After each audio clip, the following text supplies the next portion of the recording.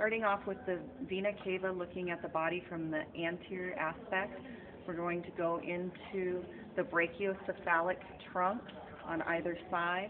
Those are going to branch off going towards the head and the arm.